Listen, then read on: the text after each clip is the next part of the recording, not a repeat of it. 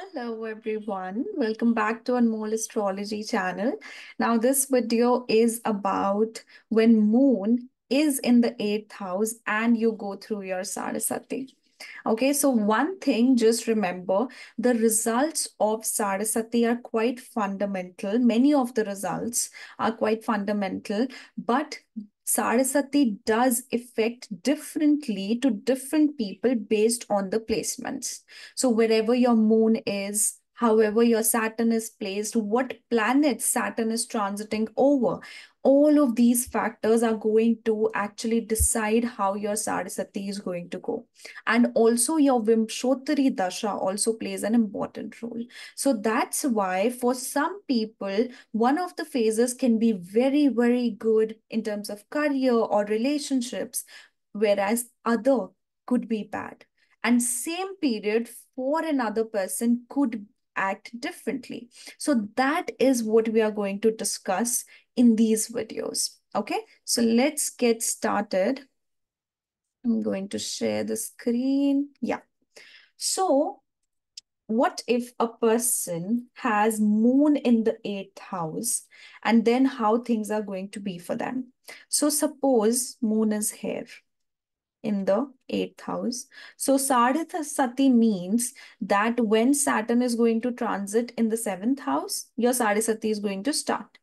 Then Saturn is going to be over your moon. Then you'll have your peak phase. And then Saturn is going to be in your ninth house. So Saturn actually travels for 2.5 years in each house and it also does go retrograde within that time frame. And for some time like in some instances Saturn may move backwards if it is in if it, it goes retrograde in the very early degrees. Then it may move backwards during the retrogression and then come ahead in the sign. Okay, so all of these things happen and they actually add on more results into a person's Sade Sati. So first of all, when a person with moon in the eighth house starts with the Sade Sati, this means that they first there is very fundamental uh, result that the starting time of Saturn gives is that it starts building on a pressure right? You start losing people. You and especially with saturn being in the seventh house and your Sade Sati starts you are definitely going to lose people. First you will also receive criticism judgments from your interaction with other people. People will start judging you. People will start putting blames on you and they would start misunderstanding you. And the, and the most problematic thing with having Saturn transit in the seventh house and having moon in the eighth house is that you don't have the energy to express. Because you as a person have been a very unexpressive soul whole of your life right? You don't like to express your emotions. You don't like to show what you actually feel. You don't like to show the sensitive side of yours. And you always put up a very um different image of yours in the public which is not very sensitive right? But when this time comes this sensitive nature of yours comes to surface. You start depending on people. You start getting affected from people's criticism and that affects you a lot emotionally right? I've most of all seen for the first phase of moon of people with moon in the eighth house they even though they have they suppose they are very arrogant people they don't connect easily emotionally with anyone. But for this time they somehow just transform into a very sensitive person. Even though the other person does not deserve their attention deserve their love or dependency emotionally but they'll start just being mad about it. You know mad about the other person just a second so they, they start with the dependency on other people, and because of which they get criticized, they, they get misunderstood. People take advantage of them, and then they blame you only for everything right so this kind of scenario plays out and also since seventh house is about business so if suppose you are into business your expenses related to business would arise and because of that you will feel very uh, you will feel the pressure from your business. Your business may suffer a little. You know, there could be losses, there could be sudden, abrupt losses, or there could be sudden change within your career, within your business, because of which you are going to get affected, and it would build an emotional pressure over your mind right? This would also give you restless nights you know mood swings swings heavy mood swings right? And uh, you yourself already are a person who loves to be into isolation or into their own world. This actually isolates you more but this also gives you that feeling of neediness that you want someone because see the saturn is activating the seventh house. So whenever any planet activates the seventh house it wants unionship. Right? So howsoever arrogant you are howsoever non-balancing of a relationship you are howsoever you are not an initiator in a relationship. For this time you would want to have a relationship. You would want to negotiate in a relationship and initiate a relationship. So you'll see a very different side of yours in the first phase right? And that is actually going to be more on the clingier part you know. And with the business also major transformation. Then its third aspect goes into the ninth house. So that means that you have to work hard with your morals with your higher learning. Suppose you are right now in the phase where you have to educate yourself. You are going through a maybe phd or post graduation so because of a love encounter or because of a relationship your education is going to get affected. Right? So you have to make a lot of efforts towards that education. Otherwise it's like I, I won't say that it, it might cause a delay but it is going to make you uh, you know work really hard towards it. Right? And the, this communication there could be some sort of uh, you know work that you would want to do related to communication and publishing as well Right, then the seventh aspect goes into the second house. So, in every time Saturn transits the seventh house, I always say that you are your rescuer. I don't know, I lost the spelling. so, you are your own rescuer, you are your own helper. You are going to be the one who is going to support yourself. No one else will right? And this means that all that criticism that you're facing from other people the solution to it is actually within you. So you have to that for that time you have to be considerate of yourself and your health rather than listening to whatever criticism you are receiving on the outside right? And then the 10th aspect goes into the fourth house. So when 10th aspect goes into the fourth house that means that you have to work really hard to balance the your peace of mind. And also so as to balance your home situation home environment. So it takes a lot of effort and a lot of hard work for you to actually balance all of those things and also to connect emotionally with people. Somehow you feel that disconnection with everyone. And it there would come it could be a very short phase it could be a longer one but there would come a time when you are going to isolate yourself from everyone and you might depend on just one individual as it could be as a part of a relationship it could be as you know you are depending on your husband or wife if you are uh, if you are married right? So because of that you feel you know that disconnection from the outer world and also your inner world right? Now the second phase comes in when Saturn comes into the eighth house. You know, this for this period, by the end of this period, you will start learning about astrology. But when this time period comes in, when Saturn is in the eighth house, actually, astrology is going to be your escape. It is, in a way, going to be your meditation trust me, astrology is going to help you. Astrology is going to help you relieve that pain that you would feel when Saturn comes into the eighth house. I would not sugarcoat things by saying this that this time can be good for you, this time may be good for some people. No, this time is going to be terrible. Why? Because you have been a soul who is unexpressive, who is secretive, who has been to himself or herself which is not that should be. You know that way you are going to depress yourself. So you need to open up. This saturn comes here for you to learn to acknowledge your emotions to learn about them, accept them. Because do you know why an eighth house moon is secretive with their emotions? Why don't they express it up? Because they fear their own emotions. They fear the, in, the intensity of their emotions.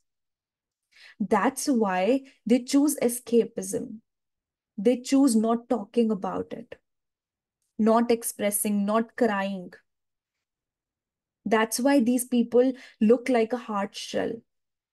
When this Saturn comes into the eighth house, this takes you out of your cocoon.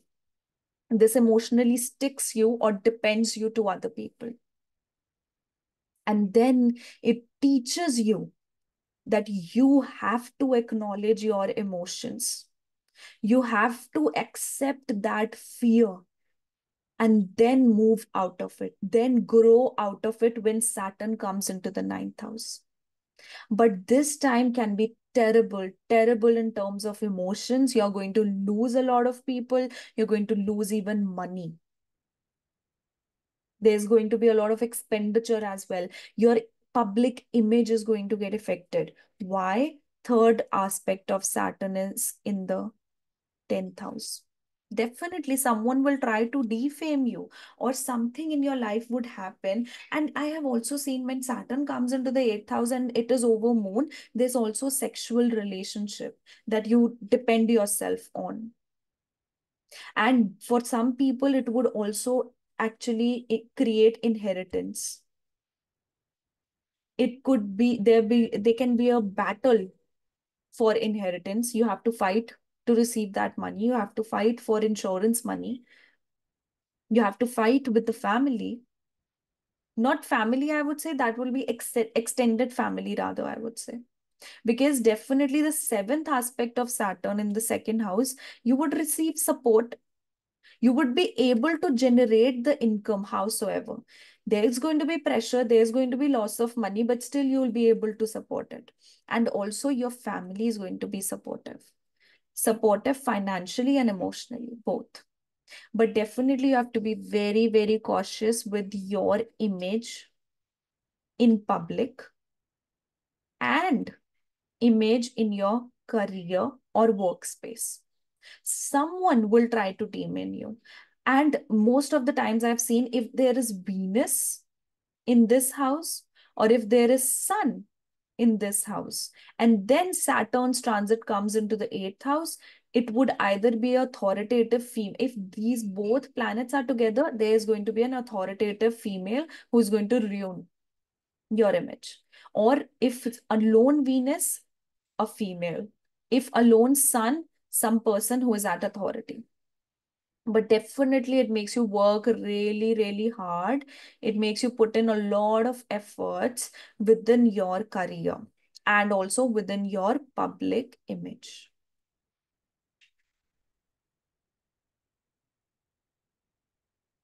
Okay. So that's about the third aspect. Then the seventh aspect on the family part. So definitely there's support from the family, there's support of income, right? And somehow you would want to pamper yourself because emotionally you feel so, so deprived.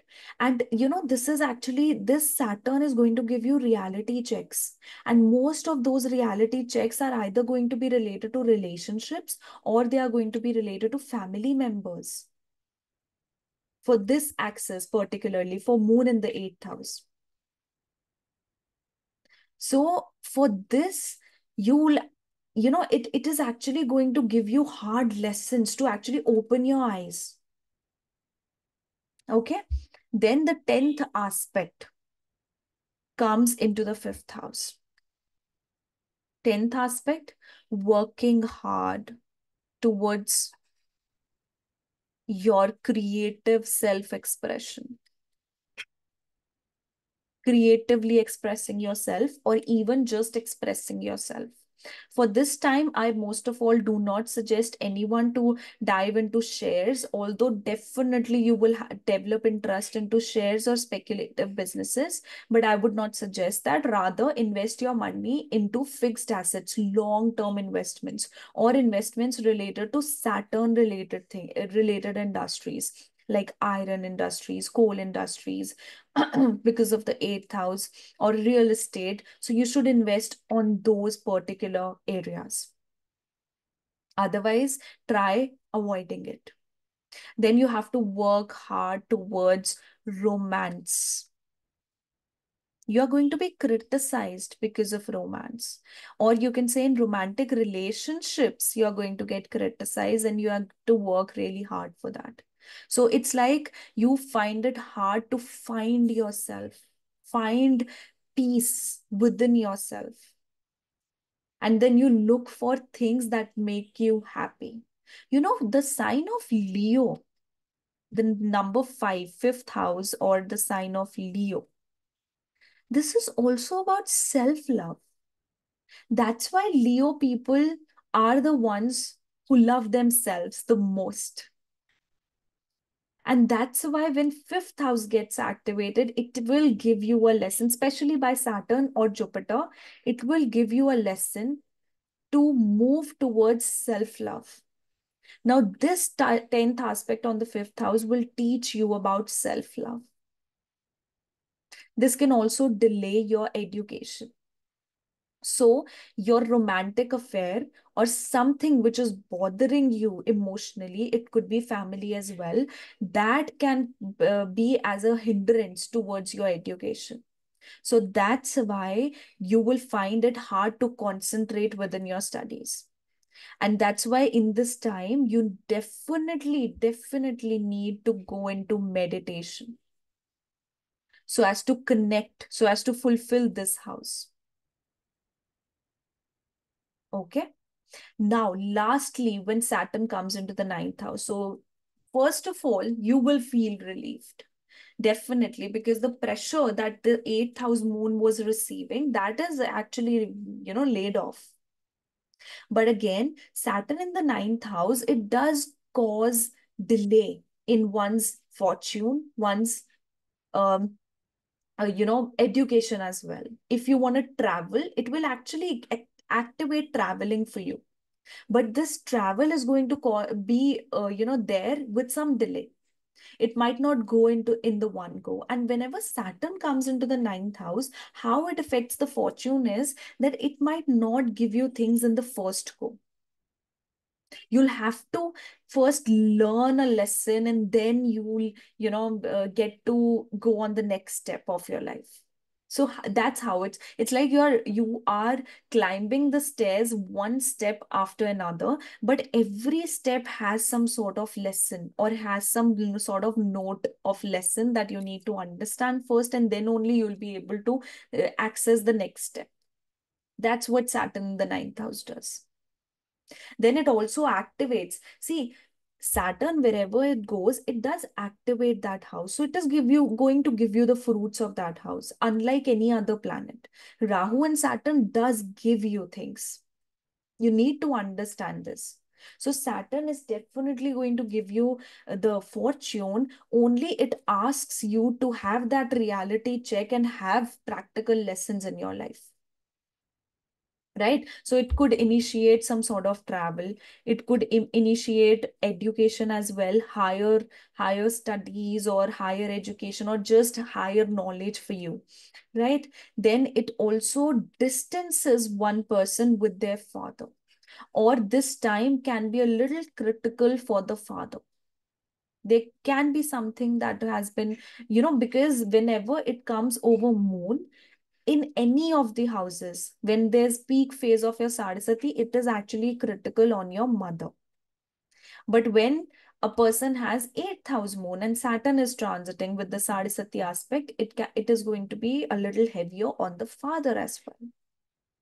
Right? So same process of yours, Sade Sati, same process of Sade Sati is going to somehow start with the father then he's going to start feeling the pressure then he's going to have some pressurizing things and events in his life and his health would also be one of the concerns right? Then the third art aspect goes into the 11th house. It takes a lot of efforts for you to fulfill your desires and to connect with social circle.